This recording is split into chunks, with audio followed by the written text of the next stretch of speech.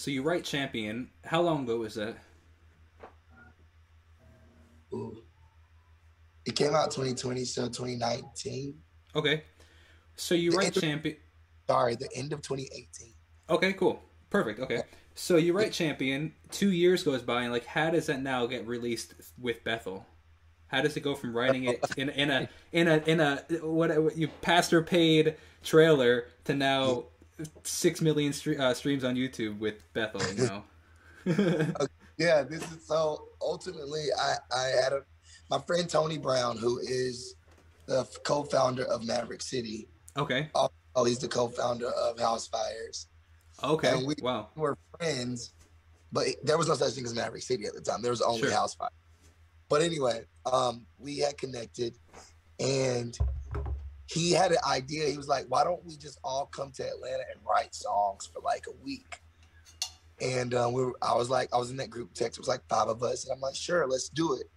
And um, and ironically, one of my really good friends that was in that group text was like, "Hey, I got a friend. His name is Brandon Lake. You know, he's like a local worship leader. He's a local worship leader. What if he came too and just hung out?" We were like, "Yeah," because we didn't really. Know, we all knew each other, but we didn't know Brandon. Sure. But that's how Brandon actually came into the family. But Uh-huh. um, so we were like, "Yeah, sure, bring him. It's all good." Just so happy he's like the best, freaking, you know, whatever. But um, so we we all get to Atlanta and we we write for a week, and Tony's like, "Hey, we're gonna go to Nashville and do the same thing, and I'm gonna bring some of my friends." So then he did that. There'll be there'll be people like Tasha Cobbs coming there. It's like this is a move was written because Tony was like, Wow. "I'm just gonna bring, I'm gonna bring some of my friends." We were all nobodies. Tony was just like this guy that was like our big brother that kind of was just like, "Come right, I'm gonna bring some friends over for you guys to write with." It was just honestly, genuine. Now like being like three years later, it was genuinely out of like a pure heart. I didn't owe Mhm. anything, or, Mhm. and but um, so that's how that happened. And he was like, "Let's go to Redding. We're gonna go to Redding." So we went to Redding and we were in a cabin, and he was like, um, "Some of the Bethel crew will come stop through, and we can write with some of them, hopefully, or whatever." And then Steffany came one day, and that's when we wrote Champion.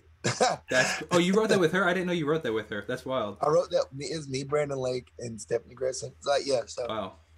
That's we, wild. um, so the reason you were traveling was to meet other artists, like to invite these other artists.